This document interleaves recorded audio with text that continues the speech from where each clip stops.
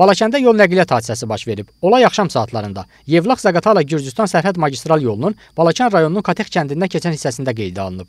APA TV-nin məlumatına görə hərəkətdə olan yük maşını ilə Mercedes markalı minik avtomobili toqquşub. Qəza zamanı minik avtomobilində olan 3 nəfər Balakən rayon Tülü kənd sakinləri 1957-ci il təvəllüdlü Nəriman Tahiroğlu Tahirov, onun 16 yaşlı oğlu İskəndər Tahirov və 1991-ci il təvəllüdlü Zaqatala rayon Muxax kənd sakini Sənan Elmaroğlu Abakarov müxtəlif dərəcəli bədən xəsarətləri alıblar.